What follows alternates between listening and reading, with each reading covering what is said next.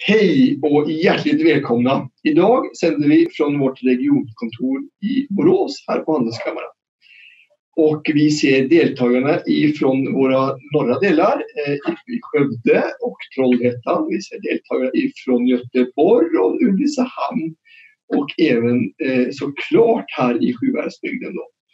Så hjärtligt välkomna ska ni vara allihopa! Låt mig presentera Gunilla Gran Hindfors, eh, stadsutvecklingsansvarig i Handelskammaren och Rickard Mattsson, stadsarkitekt i Borås. Hjärtligt välkomna hit. Eh, och eh, sist men inte minst Fredrik Bergström som är affärsområdeschef på VSB som är med på länk. Han kommer in sen så får ni titta på honom också. Tack. Hej Fredrik, välkommen! Bra! Eh, Ove Lillestund heter jag, eh, regionchef för Västsvenska handelskammaren här i Boråsregionen. Eh, idag ska vi prata om morgondagens stadskärnor och hur vi kan skapa attraktiva städer och också attraktiva boendemiljöer i städerna. Eh, och upplägget idag är ju så här att eh, Fredrik börjar på led från Stockholm och sedan så kommer eh, Rickard och prata lite om hur det ser ut med visionerna och tankarna kring utvecklingen i Borås. Och ni får självklart, och det vill jag gärna att ni gör, chatta med Emil som sitter här. Eh, frågor eh, som ni har under tiden så kan vi ta ut dem efter de har kört sitt pass. Då. Eh, Gunilla, Mm. vi på Handelskammaren vi gör många saker för att stärka våra företag. Varför är det här med stadsutveckling så viktigt? Alltså det är ju viktigt för att vi och våra medlemsföretag ser ju så, ett så tydligt samband mellan en attraktiv stad. Att vara verksam i en attraktiv stad eller nära en attraktiv stad, det ger så mycket lättare eh, möjligheter att rekrytera rätt kompetens. Så det, är, det finns ett väldigt starkt samband däremellan. Precis. Vi jobbar ju ofta med infrastrukturfrågor för att skapa större arbetsmarknadsregioner. Men vi, vi vill ju också att människor ska bo och trivas i städerna så man stannar kvar och jobbar länge på de företag som har slipper att nyrekrytera och så här. Det hänger ihop där. Mm. Det hänger ihop och sen naturligtvis att det finns bostäder är ju också en väldigt viktig Ja. faktor. Så det, de två benen är ju vår, vårt stadsutvecklingsarbete. Det är. Bra. Eh, och då kan vi fundera på vilka städer i Sverige har lyckats bäst med det här. Och eh, då har VSB då nyligen- genomfört en rapport kring det här. Och där Fredrik Bergström, du är ju affärsområdeschef på VSB och eh, nu får vi koppla in det här. Hur ser det här ut? Fredrik?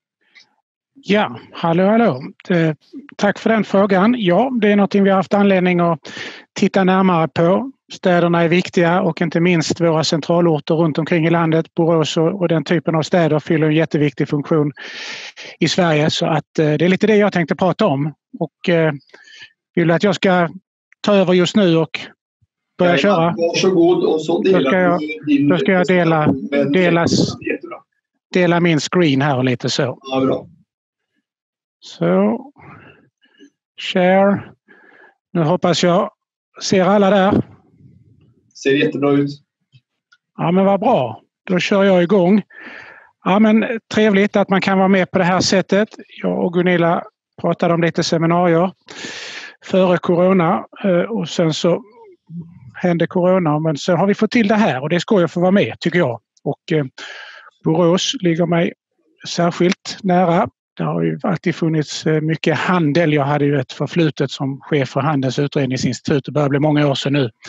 Jag har alltid haft mycket med handeln att göra och städer och så vidare. Och, eh, jag tänkte inleda här en 20 minuter och sen öppna upp för lite frågor på temat då, hur kan vi skapa attraktiva stadskärnor och, och vilka är eh, attraktiva och så vidare. Och sen har ju Corona kommit in här så att eh, det får väl bli en liten Corona-twist på det också.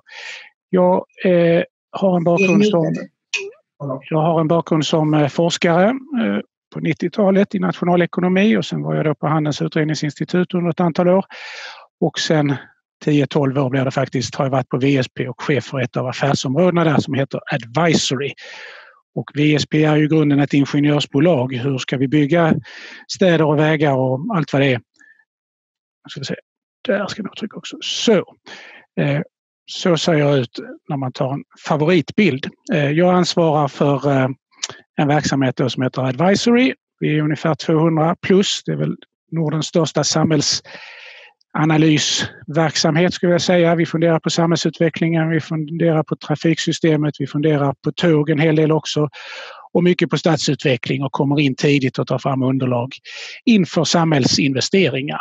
Eh, och eh, staden är ju någonting som egentligen berörs av alla de här områdena som vi jobbar med.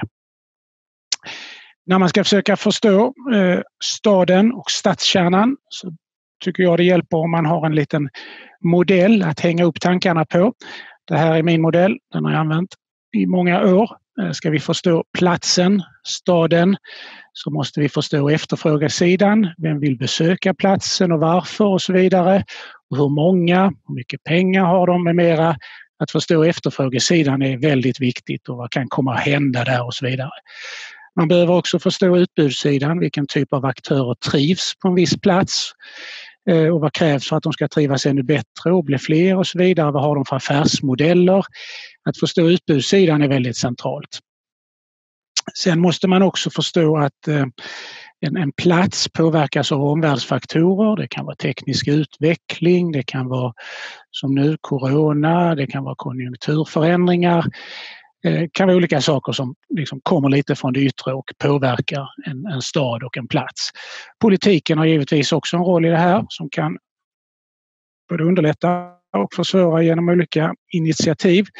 Eh, så de behöver man också ha lite koll på. Sen är det en massa andra småpluppar här runt omkring och det återspeglar att varje plats lever i konkurrens med andra platser.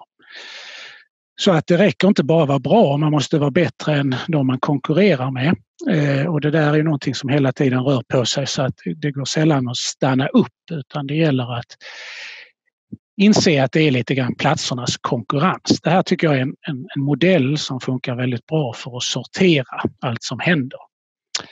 Ja, staden kan man väl konstatera är viktig, har alltid varit viktig men kanske har blivit allt viktigare i, i vår tid. Men städer har ju funnits i tusentals år. Som till exempel bilden till höger här illustrerar som ska vara en av världens äldsta städer som jag tyvärr nu har glömt namnet på. Men Staden har alltid funnits, har fyllt en funktion. Vi träffas där, vi gör affärer, vi bor där, vi hittar kärleken och på olika sätt så är det mycket så att säga, puls i staden eh, som driver väldigt mycket av samhällets utveckling. Det vi ser nu för tiden är att fler vill bo i staden. Det leder också till urbana beteenden, man går ut och äter, man lever liksom det urbana livet. Man ser också att många välutbildade söker sig till städerna och kunskapsföretagen trivs också i staden. Man brukar prata om kluster och företag med lite liknande verksamheter, de korsbefruktar varandra och liksom kommer starkare ut ur, ur de samarbeten som uppstår när man är ganska nära varandra. Och allt det här tenderar också att generera lite högre inkomster så städerna har ofta högre inkomstnivåer än, än landsbygden. Eh, och det är på många sätt en, en eh, standardstory. Eh, och den ser vi överallt. Städer har växt och så vidare. Både megastäderna men också eh, mellanstora städer och städer som Borås och så vidare har på stora hela en god utveckling. Sen har Corona kommit in och eh, det ska jag återkomma till om det eventuellt påverkar den här positiva grundtrenden som många städer har. Eh, staden kännetecknas ju ganska mycket av eh, ett handelsutbud. Eh, och, och det här med som vi befinner oss i nu med liksom en ekonomisk nedgång, hur, hur kan det påverka? Ja, det är väl inte helt klart, men man kan konstatera att ekonomiska kriser tenderar att vara startpunkten för förändring. Och här illustrerar jag svensk BNP-utveckling sedan 50-talet och det är då förändring från år till år. Och som ni ser här på 50-talet så går det lite upp och det går lite ner. Eh, och, men på hela taget var det en ganska stark utveckling i svensk ekonomi. Så när det var dåliga tider så växte ändå ekonomin, BNP, med 2% Sen fick vi ett 70-tal med oljekris och vi fick en textilindustri som hade på stora problem, påverkade Borås som ett annat. Eh, och sen hade vi en 90-talskris då räntan gick till 500 procent och sen hade vi en IT-kris med IT-bubblorna där kring millenniet. Sen hade vi en finanskris 2008, Lehman-kraschen och allt det där och nu har vi kommit in i, i den här coronakrisen. Jag ska inte kommentera de här kriserna i detalj så, men det man slåss av och om man har lite handelsperspektivet och, och stadens perspektiv så kan man säga att 70-talskrisen blev början på en ganska svag utveckling för svensk ekonomi under ganska lång tid, hela 80-talet och in i 90-talet. Som för handelns del då innebar lägre tillväxt, skatterna var ganska höga så det innebar att konsumenterna inte hade riktigt lika mycket pengar och det fanns inflation och så vidare så att handeln gick ganska dåligt under stora delar av eh, 80-talet och in i 90-talet. Eh, sen fick vi 90-talskrisen det blev startpunkten för eh, mer industrialiserad handel. Vi fick big boxes, de stora kedjorna, vi fick köpcentrum, det var mycket prisfokus. IT-kraschen där vid millenniet, det var ju lite startpunkten för dels e-handel, börja hitta sina former där även om det var lite misslyckande i början. Eh, shopping var väldigt stort under hela 00-talet. Eh, finanskrisen blev lite grann en startpunkt för en något lägre tillväxt. Handeln slutade växa i den väldigt höga takt man har gjort under lång tid. Eh, det påverkade också liksom takten på nyetableringar vad det gäller köpcentrum och gallerier och sådär. Vi såg också mer tjänstekonsumtion. Restaurangerna började gå väldigt mycket bättre än de hade gjort tidigare och annan tjänstekonsumtion också. E-handeln tog liksom nästa steg, 2.0 och blev ännu vassare. Eh, och där är ju Borås verkligen ett nav i hela e-handelstrenden. Och nu har vi kommit in i coronakrisen som eh, är lite oklart var den kommer att ta vägen. Det blir nog tufft i år. Sen tror väl många att det ska studsa tillbaks men det är hög osäkerhet kring det här.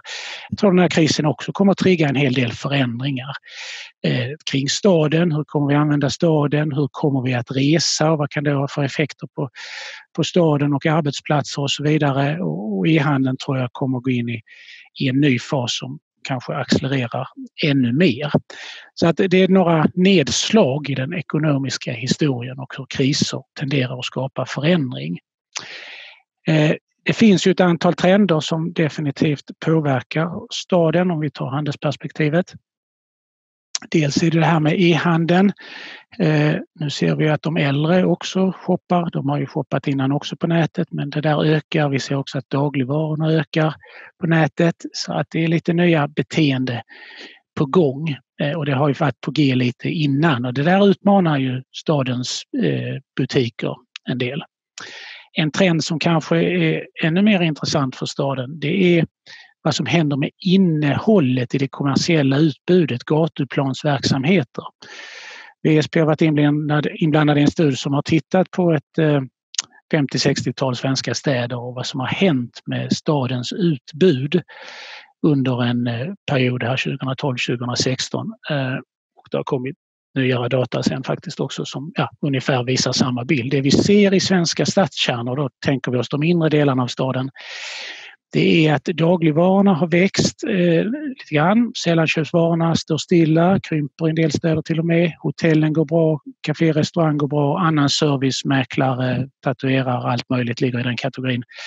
Har också haft en stark utveckling. Det som historiskt har varit stort i staden som andel av stadens utbud, det är ju sällanköpsvarorna. Men de, de går svagt i svenska städer i genomsnitt. Det finns givetvis undantag, men på det stora hela har de en svag utveckling. Utmanas av köpcentrumen, utmanas av e-handeln, utmanas också av att vi som konsumenter eh, lägger lite mindre pengar än tid, inte mindre men lägre tillväxt har varit. Eh, medan dagligvarorna går bra. Eh, vi har byggt mer bostäder i våra städer och då går man ner och handlar mat i den lokala butiken i större utsträckning. Det tror jag är en drivkraft där. Hotellen har gått bra. Eh, vi reser mycket både i jobbet och som turister och det har byggts mycket hotell runt omkring, inte minst i våra centralorter och i våra större städer.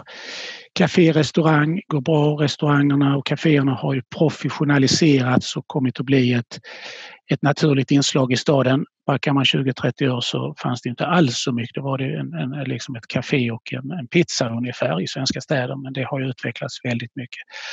Och annan service har också eh, vuxit kraftigt. Det utgör dock en mindre andel av stadens innehåll. Så det här är ju en, en trend som nu tror jag kommer att hålla i sig. Just nu har ju sig hotellen det väldigt tufft men det finns nog ett liv efter Corona eh, och att vi kommer att resa en del, det tror jag, men det är lite frågetecken där. Vad vi får för beteendeförändringar framöver. Hade det varit före Corona så hade jag sagt att de här, den här bilden kommer bara förstärkas, förstärkas. Eh, just hotell kan man faktiskt börja fundera lite grann på vad som kan hända där. Ja, eh, vi hade anledning förra året, slutet på förra året att ta fram någonting vi kallar Stadsbarometern där vi de underliggande frågeställningarna var lite grann det här. Varför växer städer? Vad gör städer framgångsrika? Vad innehåller staden och vad kännetecknar en stad som är strukturellt stark på lång sikt? Så vi tittade på eh, 65 städer tror jag det blev. Och vi tittade på stadskärnorna eh, och så gick vi in och kollade vad är det för innehåll i våra svenska städer eh, och inte bara handel då. Och det är väl en viktig slutsats att staden är så mycket mer än handel. Det blir lätt att man pratar handel. Men det är mer än så. Eh, här är då en bild över den stadskärna som vi inventerade i eh, Stadsbarometern för Borås del. Eh, och för alla städer har det ungefär varit eh, så här en, jag tror det blir en 500-600 meters eh, radie där eh, som vi har i gångavstånd också, därför är det inte en rund cirkel. Som vi har tagit fram all möjlig data kring och sen eh, jämfört svenska städer och också försökt klassa dem som mer eller mindre framgångsrika. Och är man då väldigt framgångsrik så har man kommit ut högt på de ett, eh, ett stort eh, 10-12 variabler som vi tittade på som vi har bedömt vara viktiga för att en stad ska vara ekonomiskt eh, stark. Och när vi då gjorde den här övningen och skapade ett index där man kunde få ett högt betyg i respektive eh, variabel vi tittar på och så summerar vi ihop det där. Då fick vi fram någonting vi kallar stadsbarometerindex. Och I den mätningen som vi gjorde, där vann då Jönköping, kom ut väldigt starkt. Karlstad, Lund, Helsingborg, eh, flera centralorter i landet låg i topp.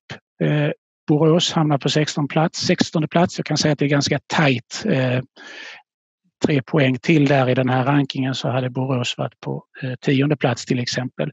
Så det var ganska många centralorter i Sverige som hamnar där någonstans kring 65, 67, 68. Så men Borås hamnar i alla fall på 16 plats. Det som kännetecknar många av de här framtidssäkrade städerna, och vi tittade inte på Stockholm, Göteborg och Malmö ska jag säga, utan här var landets mellanstora och större städer vi hade fokus på. Eh, det är att man ofta är navet i sin region. Man har ofta en högskola, man har ofta bra infrastruktur, bra tillgänglighet till resten av landet och kanske till resten av världen också. Eh, så att man har, fyller en viktig funktion i sin region och det tror jag definitivt är en framgångsfaktor i framtiden att upprätthålla eh, att man är en central hubb i sin, sin region. Eh, I andra ändan då har vi lite mindre städer som flera av dem skulle säga ligger lite vid sidan om. De har inte riktigt varit med i den utvecklingsresa som har kännetecknat Sverige. De kan ha massor med kvaliteter men de har inte fått till befolkningsutvecklingen. De har hamnat lite vid sidan om och då blir det sämre inkomster, det blir sämre befolkningsutveckling med mera och eh, så som vi mätte eh, statsbarometerindex stadsbarometerindex så kom de lite sämre ut helt enkelt. Men Borås, eh, hyfsat tycker jag. Eh, man kan fundera på vad en stad då innehåller och här gör jag en jämförelse mellan rikssnittet, Jönköping och eh, Borås längst till höger där och då har vi tittat på till exempel boendetätheten. Hur många av stadens, kommunens alla invånare bor i stadskärnan?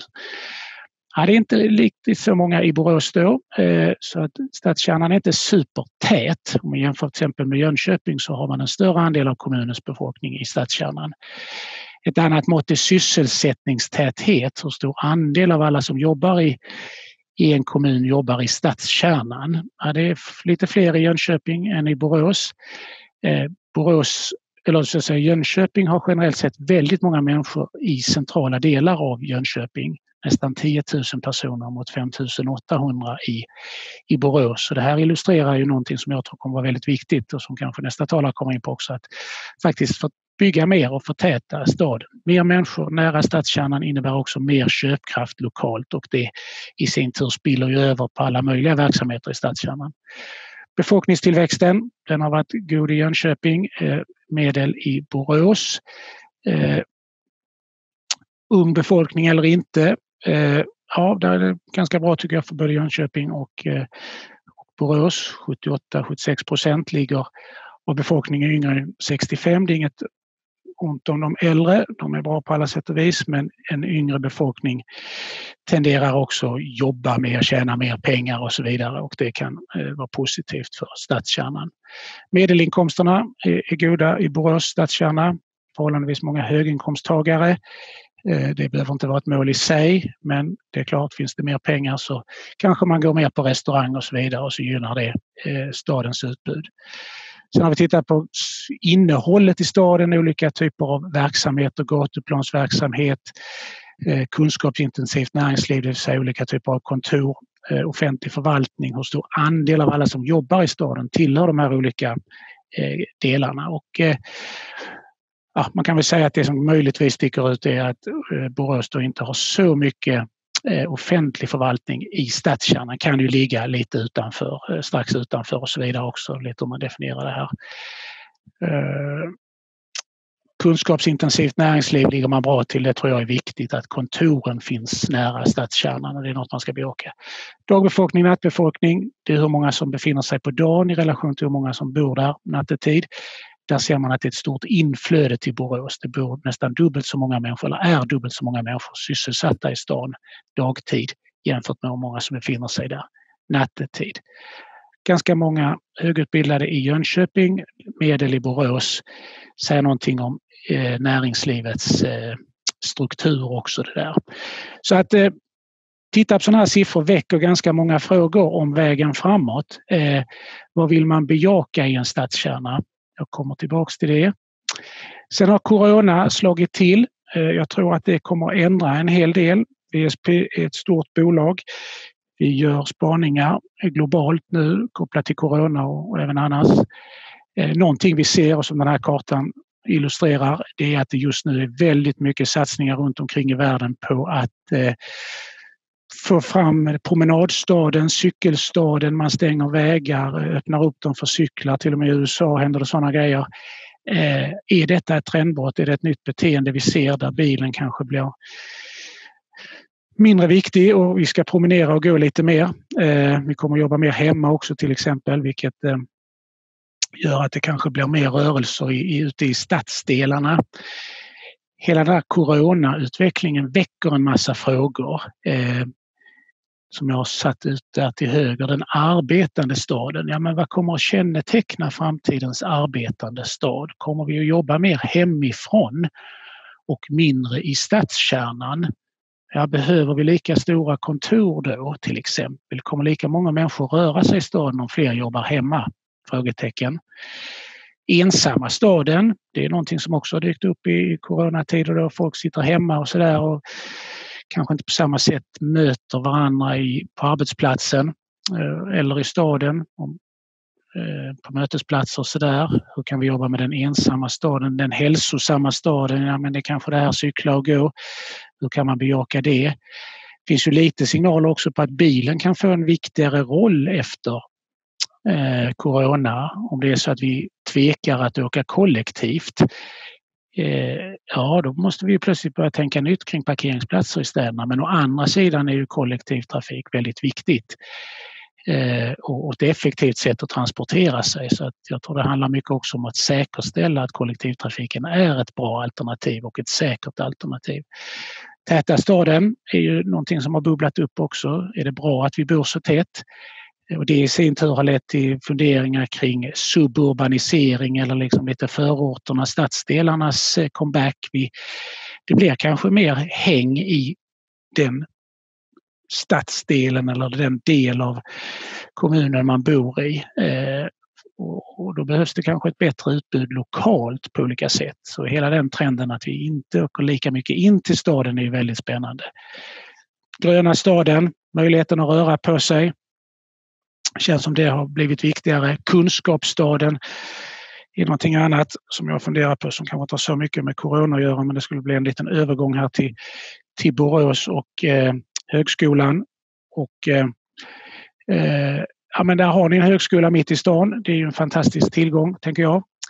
Eh, hur drar man nytta av detta att man har ett lärosäte mitt i stan? Jag tror definitivt det är en del av framtiden att eh, unga människor, kunskap, eh, företag, startups och allt möjligt är nära stan. Det, det kommer att bidra till att vitalisera eh, på både kort och lång sikt.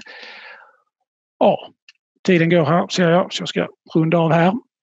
Eh, vad ska man göra då om man ska maxa staden, eh, både på kort och lång sikt? Jag tycker man behöver göra sin nulägesanalys. Eh, var är vi? Hur ser det ut? Vilka styrkor och svagheter har vi? Sen behöver man fundera på vad man vill med stadskärnan. Eh, jag menar att stadskärnorna är oerhört centrala i den regionala utvecklingen. Och många verksamheter trivs där och människorna tycker om staden och så vidare. Så att jag tycker inte man ska skämmas för att ha målet att man vill maxa stadskärnan. Och då är frågan vad man ska göra. Jag tror man behöver göra och kanske än mer än tidigare faktiskt göra riskanalysen. Vad är nästa corona? Det kanske är något annat än corona. Men vad finns det för risker runt hörnet som kan knäcka utvecklingen och göra att det inte blir som man hade tänkt sig? Eh, det behöver man ta sig en funderare på. Sen tycker jag att man behöver stadsstrategier. Jag har hållit på mycket med stadskärnutveckling under min karriär.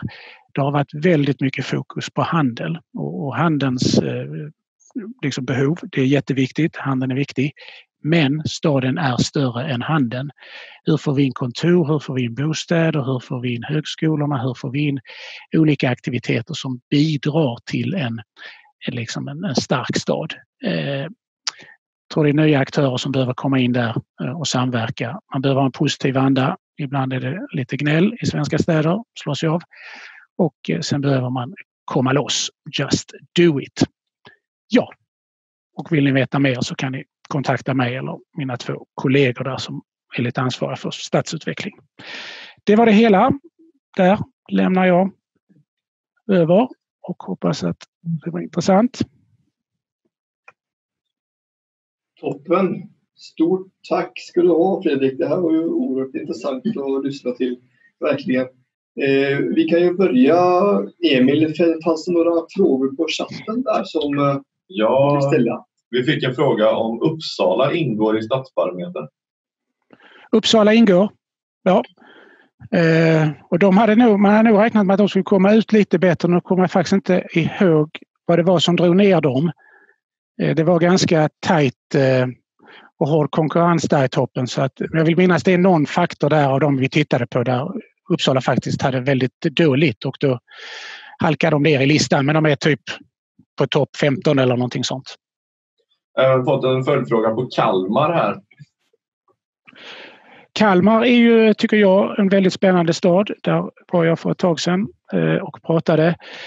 Och eh, Kalmar har ju massor med kvaliteter, tycker jag, den medeltida och ja, den gamla staden där är fantastisk. Högskolan tycker jag har varit ett jättespännande grepp i Kalmar som de har byggt nere i hamnen. Eh, Kalmar är ju också Kalmars möjliga ja, utmaning tänker jag. Det är lite flygplatsen nu till exempel. Går den, vad händer med den? En annan utmaning är ju att de är lite vid sidan om. Eh, mycket av svensk ekonomisk utveckling är så att säga, inte i östra delen av Sverige utan lite mer i, i den sydöstra delen är det inte så mycket utan det är lite mer västra och Stockholm och Skåne och sådär. Så att det är möjligtvis att de har en liten utmaning där. Att de ligger på fel ställe. Men än så länge är det en stark, stark stad.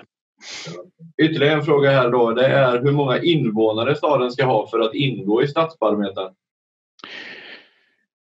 Ja, vi tog faktiskt utgångspunkt i, i Sveriges, eh, i kommunernas storlek och eh, vi, eh, vi började uppifrån och sen så när vi kom till 65-70 stycken så tänkte vi det där blir nog lagom och så stannar vi där.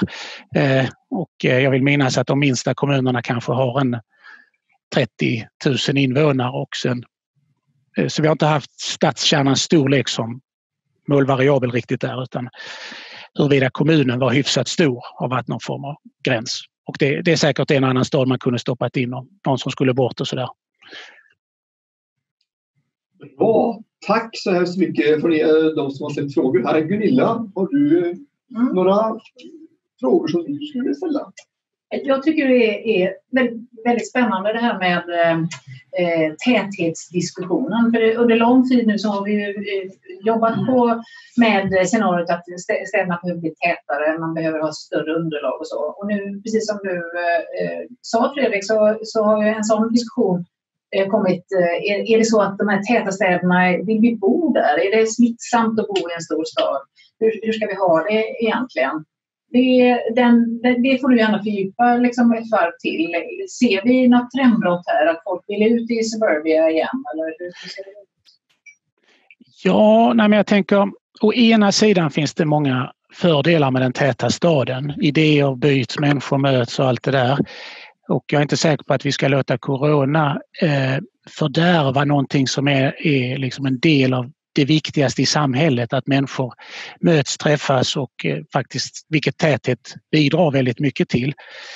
Däremot så tror jag faktiskt att den här diskussionen kommer att eh, leda till, eh, och jag tror det kommer att drivas av hur vi kanske ändrar vårt sätt att jobba, att förorterna, och det är lättare att tänka Göteborg, Stockholm än att tänka Borås jag tror att förorterna till Stockholm och Göteborg kan mycket väl få liksom ett uppsving i kölvattnet av detta, att folk jobbar i större utsträckning på hemmaplan. I Borås kanske man också kommer att jobba hemifrån men då är ju liksom på något sätt förorterna blir ju liksom lite mindre orter som i och för sig också kan få ett uppsving. Det kan vara mindre, mindre orter runt omkring Borås. Eh, men jag tycker inte städer som Borås och så på något sätt ska var rädda för täthet. Jag, jag tror att staden behöver förtätas både vad gäller arbetsplatser och bostäder och sen gäller det att hantera corona och sådana kriser på något annat sätt eh, med liksom lite smarta upplägg. Jag tror det, ja, man ska bejaka ändå investering i centrala lägen i mellanstora svenska städer. Det har varit ett framgångsrecept väldigt länge.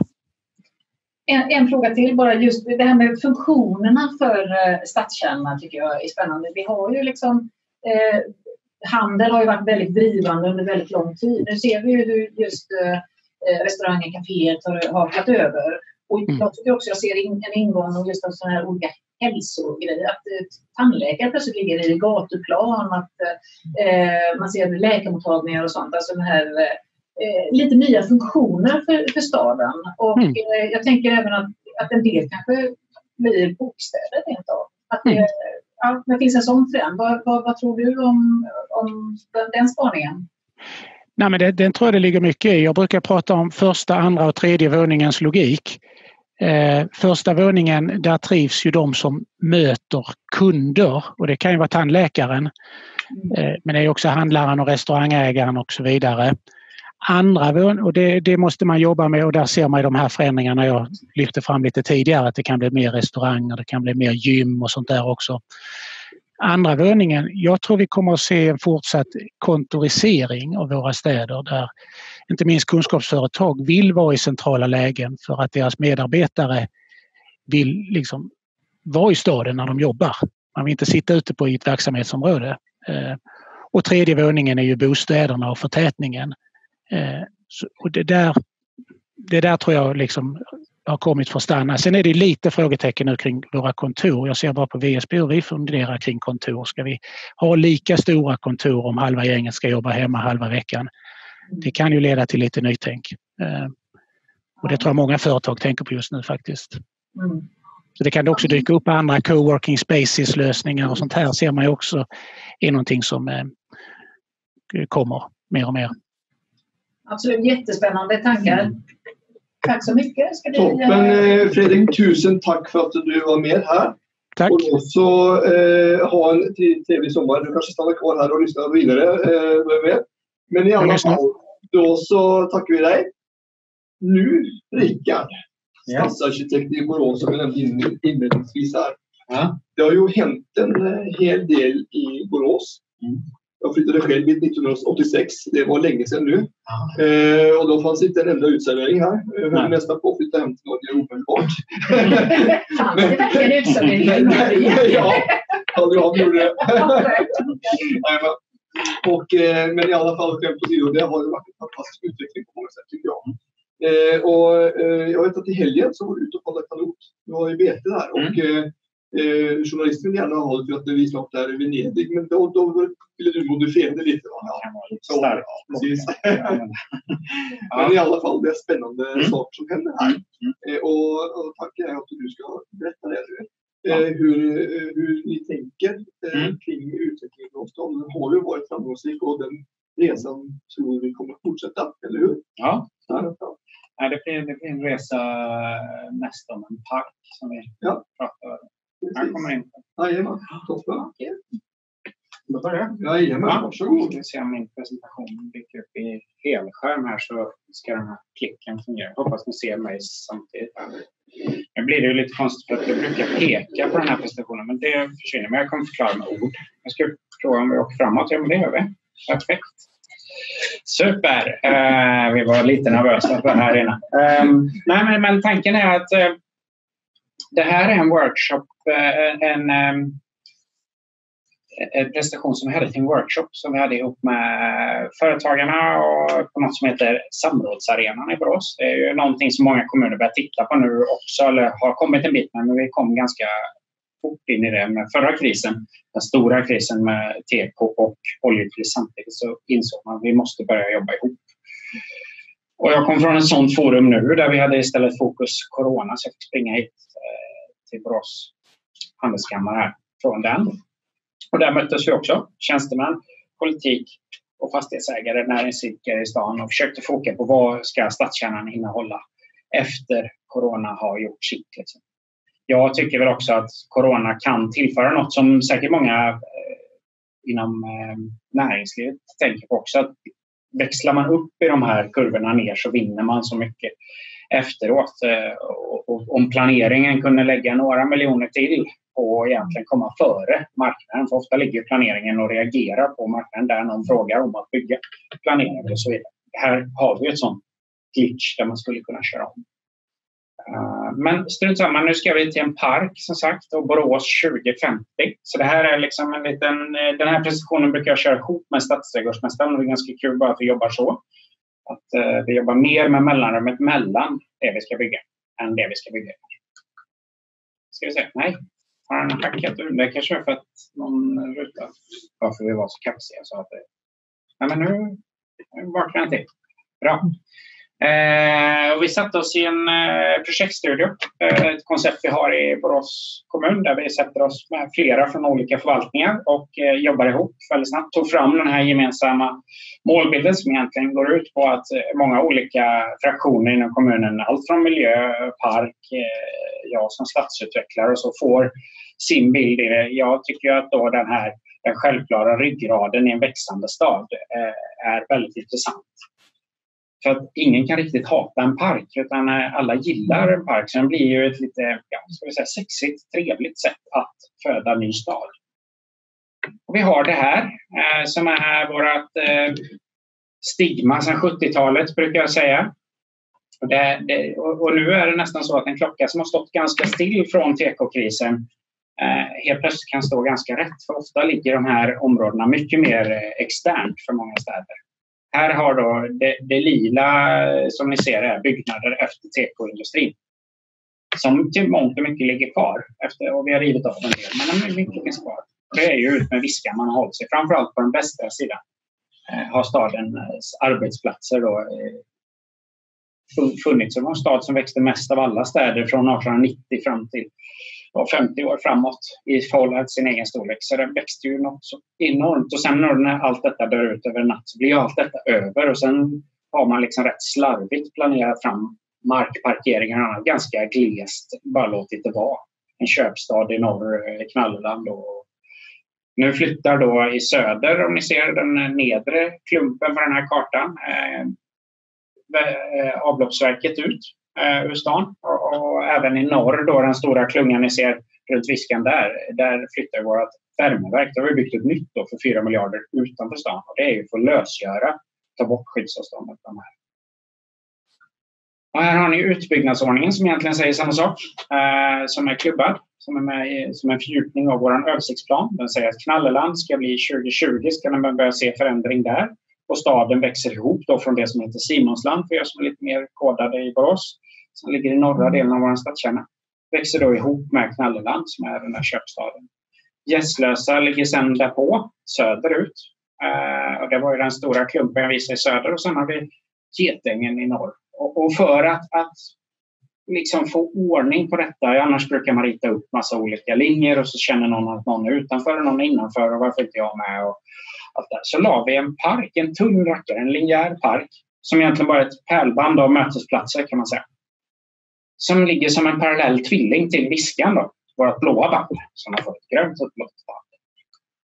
Eh, och så har vi de här urbana stråken som också eh, ÖPN tar fasta på att, att staden ska växa ut via vissa eh, stråk föra stadskänslan längre ut. Och då ligger ju Viskan och parken mitt emellan det. Här. Som, så de amplifierar varandra. Eh, tar vi sedan ett tänkt snitt här, eh, så att ni är online, hackar lite men ni är med hyfsat. Det behöver inte ligga här det här snittet utan vi ska vandra runt i ett maskinärt snitt som skulle kunna vara här. Mellan ett urbant stråk till ett annat och parken och Viskan. Ungefär 2050. Här landar vi då i ett urbant stråk. Eh, här har vi alla trafikslag och vi har snabbare rörelse, bra bottenvåningar som ni ser, som staden ofta behöver ha. Här vaknar någon upp. Det är väl kanske nyårsdagen 2050. Tänkte, oj, oj, vad det går fort. Och jämte de här urbana stråken där kan vi packa på lite eh, mer eh, exploatering. Ta lite höjd, ta lite tätare då blir det också viktigt att ta hand om det gröna och, och mellanutrymmena här för de blir lite mer vertikala.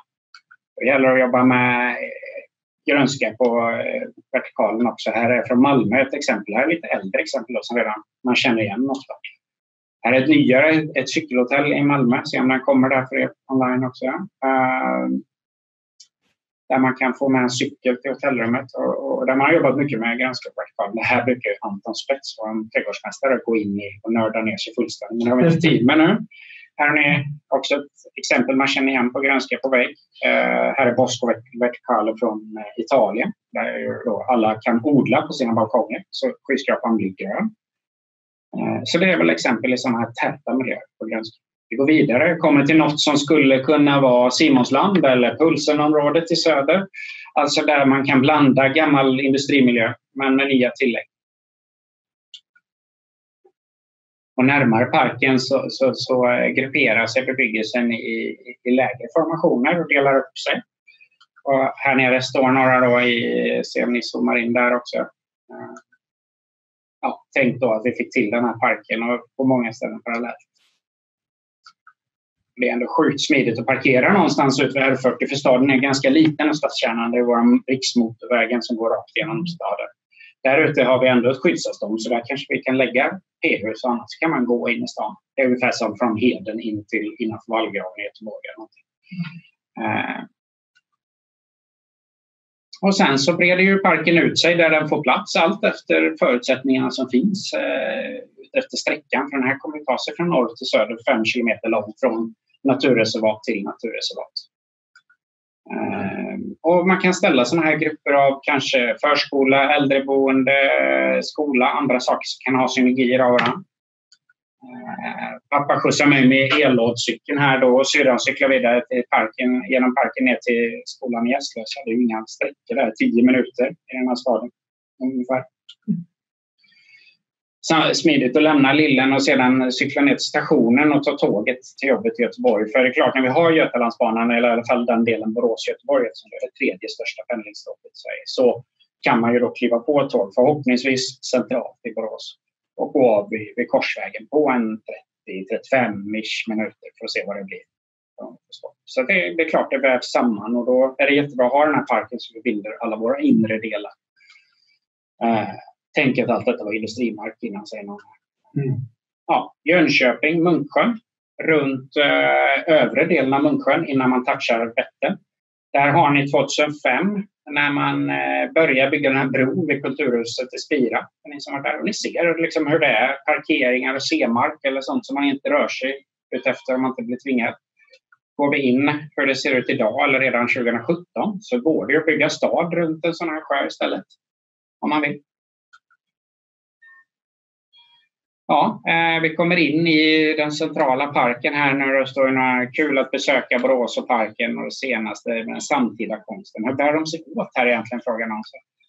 Ja, det är tydligen eh, mycket skulpturdominationer. Det är ju, vi har ju redan 150 skulpturer i stan och mycket av det är ju donerat av det privata. Det är det som är så häftigt. Att vi har såna, talar ju till och med skulptörer i andra delar av världen som inte ens vet vad Borås är. Om, ja, men de har Plensa och Dan, jag vill också vara där, men jag vet inte var Borås är, men strunt samma.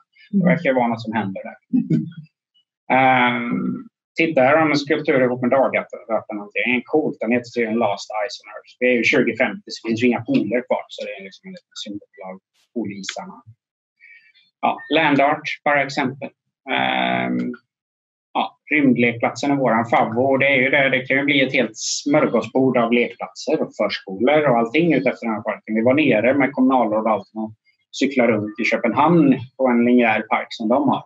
Det är jättehäftigt att höra barnskratt från fyra förskolor när man drar fram där och man ser hur folk rör sig till och från jobb och arbetsplatser och allting. Riktigt lyckat faktiskt. Uh, ja, här var ett exempel på en temalekplats för det kan te sig. Vi går rätt raskt fram här. Jag hoppas ni hinner med det. Hoppa lite snabbare online där så ni får inte bli åksjuka. Um, ja, Borås vann ju det stora dagvattenpriset 2028 och det är också någonting vi måste börja bromsa upp regnvattnet. Man ser det från Länsstyrelsen så att vi kommer få väldigt höga flöden i Viskan. Många andra städer som har samma problem, de ligger vid havet. Men vi ser också här i inlandet ett av få städer som får problem med det. Uh, kul att parken på så många ställen bromsar upp regnvattnet. Här har ni ju Vallastaden. Om ni var besökte den som var bomässa förra året så ser ni bakom gubben med tidningen som läser där på en bänk så kan alltså det vattnet svämma över ända dit upp.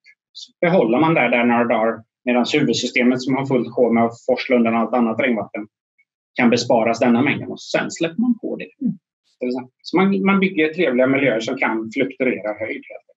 Mycket av parkens Det här är ett ställe från Amerika eller Kanada Eh, också en rain garden som kan bli en sjö.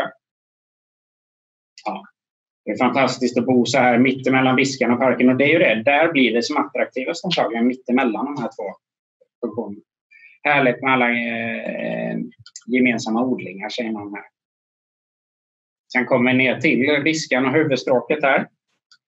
Eh, tänk att man redan 2021 var klar med ett sammanhängande stråk längs Viskan. Det var ju någonting man påbörjade för 15 år sedan egentligen, staden vid Viskan. Att vända oss tillbaka mot Viskan, det som hade varit ett färjeriutlopp. Eh, som inte vi vänder ryggen till. Nu tittar vi istället mot vattnet och använder vattnet på ett helt annat sätt. Vi se om hänger med online där också. Har två studenter då, som fasen Kenta, är vi bra sena eh, till tentan. Vi skulle ju se om man kan läsa. Tur att vi kunde gena via parken. Eh, vi skulle ju inte ha gått ut igår, säger en student. En annan här. Och det är ju rätt fantastiskt om man kan använda den för snabbare transporter än ofta bilen har vi märkt. Vi har provcyklat sträckan. Det är, det är sjukt smidigt, särskilt med en elcykel. Ja, här är några som har skulpturvandring längs parken. Givetvis ska vi ställa alla våra verk i, i parken också, de nya som kommer.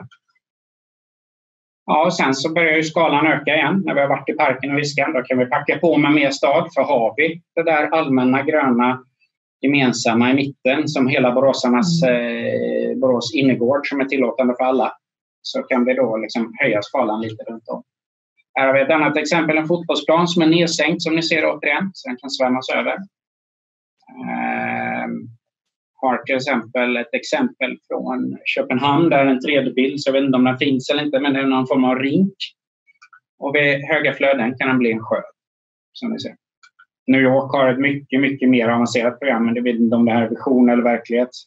Det är alltså ett p-hus som är som en kork som kan flyta upp när det blir vatten under. Eh, som ett magasin. Då. Det är en rätt häftig visionsidé. Men många städer måste börja titta på det här på allvar ja, kommit fram till Borås universitet. Och eh, rektorn står ju här och ja, nu är Kenta sen igen. Jag tur att han bor nära parken som 3000 av våra studenter. Det blir ju verkligen ett häftigt campus för vi är ju inne på det som vi sa med ett stadscampus som vi så gärna vill åt och det här skulle kunna förstärka det. Då. Ja, bara en exempelbild från, från ett amerikanskt campus som ofta köper ja, nice att sitta i stan och, och alla, på alla parketter som temporärt kom till 2021. Vi fyller ju 400 år samtidigt som Göteborg. Eh, och då kan vi ställa ut bitar av park på, eh, på parkeringsplatser för att testa, som det här exemplet. Eh, ni ser en bil överst i bilden.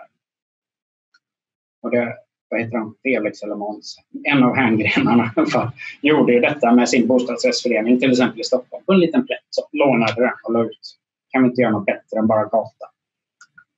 Eh, och då har vi väl rört oss igenom hela snittet. Eh, från urban stråk till urban stråk. Och det här är lite hur vi kunde peppa de som är med i workshopparna. Vad det kunde vara. Men då är vi tillbaka till den här stora oanvända marken. Och parken kommer ju lägga sig någonstans där i det. För att just föda all den stad som ska byggas väster om Viskan och att det hänger ihop. Inte hur jag ligger till i tid här. Uh, fem minuter. Perfekt. Då gör vi ett saftigt avslut här som lockar er ännu mer. Detta var ju för att få igång folks hjärnor inför en workshop om man kunde fylla den här parken med vad kan du bidra med i parken och så vidare. Ni ser ett antal stjärnor här. Några av dem är Viskaholm, den orangea stjärnan i norr. Där ska det byggas 300-400 bostäder. Gert som sitter och ritar på det åt AB Bostäder och Riksbyggen. Eh, vi har Pulsen som den andra orangea stjärnan i söder, precis inte motorvägen. De vill bygga ett techcenter, ungefär som ett, ett digital center, ungefär som Textile Fashion Center fast fyllt med digital. Ett litet mini-Silicon Valley. Eh, och vi har massa parker och kyrkogårdar på vägen som den här parken också tar sig an. Så den, den rör sig längs befintliga parker och, och, befintliga projekt för att ta kraft av dem. Kraft från projekten och, och, och vice versa. Här var vi ute och cyklade en dag, parkstråket, när det var snorhalt. Eh, stadsträdgårdsmästare, kommunbiolog och markchef och lite annat. Bygglovschefen var med också. Här står vi på en bro som leder in i stadsparken. Den är dimensionerad för vägtrafik. Man hade en idé på 60-talet där man skulle dra en väg rakt genom en stadspark. Tur blev inte det av. Men eh, bron finns ju ändå och den kan man ju ställa träd på till exempel. Den är så stark. Så där är det givetvis väldigt bra att kunna dra fram parken. Då är den här mittsträckan rakt igenom. Var vi strax ovanför den ena gröna starka stjärnan där när den drar över risken. Och här har vi lite längre in på samma ställe, se om vi får en flygbild. Där ser ni bron nere i, mot parken i, i nederbilden. Över Viskan, det svarta strecket där. Och här kommer lite projekt. Det är bara jag som har skissat in dem ganska enkelt för att visa på vad som kommer. Eh, två höghus och sen har ni Viskaholm som Gert ritar på längre upp. Och då skulle man kunna lägga den där parken rakt igenom som en grön huvudgata. Ett pärlband av mötesplatser. Det kan också vara en sekundär tvilling så att det blir ett delta runt Viskarna och parkmiljö. Går vi in här så ser den här gatan ut ungefär så här idag. Nu är det, har man ställt ut en exposé av varningsskyltar här i detta gaturummet som ni ser. Lite så. så jag har egentligen bara tecknat någonting som täcker dem så det är inte hur det ska se ut på något sätt. Och det kan man väl säga med det mesta jag visar att det här är hur det skulle kunna vara, inte exakt hur det ska Så så skulle en sån gata kunna se ut om den blir lite mysigare med sådana här parkletter där pizzerian får en utservering eller liknande. Eh, man kan markera vägen och ta ner hastigheten och visa att här är du på gångtrafikanternas villkor och så. Lite så. Ja, och du ska inte tro att det blir sommar ifall inte någon sätter fart. Det är väl en uppmaning just att du ska inte tro att det blir stad ifall inte någon sätter fart. För många som håller på med stadsplanering säger att det ska man ha respekt för att det tar tid. Och så här, man ska inte vi förlänga den biten. Det är ju det som ofta händer, att ingen egentligen har bråttom för att det är så långa processer. Då blir man liksom aldrig klar. Eh, och då är vi tillbaka till det här stora gapet från norr till söder. Där man kan få allt från eh, friluftsliv ut ändarna och, och lite ja, sätter man det här i, i händerna på gymnasieelever i en workshop som vi har gjort och då kommer de på massa häftiga idéer. Det bara bubblar med idéer i folks huvud när de ser detta. Så det är väldigt det är väldigt greppbart för många att få stadsutveckling genom allas rum i nyckeln. Man sätter gröna rummet. Så det, det, det, är något som funkar väldigt bra som verktyg. Att vi har haft ända ner till eh, sjuåringar som har tittat på hur de får det roligast när det regnar och kan vi få parken ännu attraktivare när det regnar. Att, att det börjar snurra skobbelhjul och allt. Det, det går att fylla den här med allt vad alla vill ha. Wifi-zoner som ungdomarna säger och parkvärdar för att den ska vara trygg på kvällen. Ja, folk tänker till. De får något greppbart på stadsplanering. Det är väl det den är till för i mina ögon mest. Mm. Ja, vad kan du göra för parken? Let's workshops. Eller? Nej. Satte detta i händerna på politiker och företagare i stan. Så det är på väg framåt, ett dokument som ska beslutas om och, och vi ska också ha lite mer samrådskör med det. Så i höst och 2021 så börjar väl parken liksom lansera sig själv och det är inte en gräsmatta från A till B utan den kommer växa ut som ett svampmuseum från olika projekt. Vi ska ha och annat eh, och greppa tag och få ett sammanhang för att visa att här kommer det bli stad. Västra hamnen i Malmö gjorde mycket detta. Börja med en park och sen byggde man om ett helt varvsmiljö till stad. Liksom. Och håller på i flera år därtill. Och alla har en liksom, ganska bra roadmap vad det är som ska hända. Så det är parkens huvuduppgift i mina ögon. Så, det var en snabb exposé i detta. Vad bra! Rickard, det här var superintressant, verkligen. Eh, har vi Annat fått, ja, verkligen. Och det, just att viskande och det här gör språket, att det göra det här hela attraktivt. Eh, eh, viktigt. Och det är bra att man börjar att man har på, som du säger, med en gång. Mm. Och inte vänta för länge, för det, det går fort såklart. Eh, har vi fått några frågor från publiken? Ja, vi har fått en fråga här eh, från Eva Sideström som undrar om ni har med den hälsosamma staden som fokusområde. Ja, jag är det- inte riktigt på eh, vad hon menar, men Ja, men det var väl kanske lite i den förra föreläsningen här också att det fanns som tema. Och det är väl liksom hela tanken. Det är det som är så kul med den här parken, att, att man kan bromsa uppregning, det kan eh, föda biologiska värden, det kan förtäta staden för vi möjliggör först det allmänna. I, i till exempel lät vi ju en arkitekttävling säga att först lägger ni in park, sen lägger ni husen, sen lägger ni trafiken. Ofta gör vi tvärtom i, i svensk stadsplanering framförallt. Um, så att den här är ju för att man ska kunna röra sig fritt från norr till söder ganska eh, mycket mer till fots och annat eller som du behagar med alla tekniska hjälpmedel som finns idag, elskotrar. Så det är väl att gå ifrån just bilberoendet och den tar du när du åker upp på andra ställen givetvis. Men bilen kommer sekundärt i detta på något sätt. Och den här konkurrerar inte heller med bilen, tar inte riktigt bilens yta heller. Så det, ja, det är väl den hälsosamma staden i högsta grad och alla förvaltningar är på och svarar remiss nu. Så då är det Fritid Folkhälsa med och de har varit med i projektstudien också. Eh, en annan fråga här om ni har integrerat Agenda 2030 i stadsutvecklingen i Borås. Ja, det har vi väl till viss del. Eh, den här kanske inte i synnerhet har jobbat med det så eh, stenhårt i själva parken i sig, utan parken är mer ett stadsbyggnadselement som jag pratar om. Det svåra är ju att få till de här enormt stora ytorna jag visade norr och söder om stan som bara ligger en kvart från Stora torget. Att, att göra om 150 hektar industrimark till stad, dubbelt så mycket som den här Rutnätsstaden vi är i nu då, är ju en utmaning i sig. Så den här parken fokar mer på att få det att hänga ihop och den berör då många punkter i, i 2030 också. Mm. Jag, jag blir väldigt nyfiken på eh, då med eh, tanke på hur det funkar i Göteborg eller inte funkar ibland. Eh, hur tänker ni kring finansiering? Lite tråkig fråga men eh, helt nödvändig. Eh, Anton Spets brukar gå in. Det är, vi har en fantastisk stadsträdgårdsmästare som också fokar väldigt mycket på platsbyggande och liksom, sen är han totalt trädnörd om podd om trädar, träd och som man sköter om. Men, men han kan liksom gå hela vägen där så han har tagit upp väldigt många exempel som Highland Park i, i, på Manhattan som jag känner till. Den är ju helt skött av en stiftelse till exempel. Mm. Eh, och, och det kommer bli så att projekten får hjälpa till och staden får hjälpa till. Så det, det blir en symbios. Vi kan inte köra på det gamla sättet. Det, det, det går liksom inte om vi ska lyckas med det här. Men det var det hela mycket av den workshopen handlar om. Vad kan du göra för parken? Vad kan det privata göra för parken? Kan de betala meter och få någon guldplakett? Eller vad, hur jobbar vi? Men det, vi Mm. håller på mycket med det. Hur, hur, vad får du för reaktioner eller ni, eh, från just näringslivet eh, i Borås, eh, det nuvarande och det kanske kommande? de flesta blir jätteglada. Men sen så är det klart att sen när man kommer ner i konkreta projekt som Viskaholm eller vi kommer sen till Pulsen lite senare.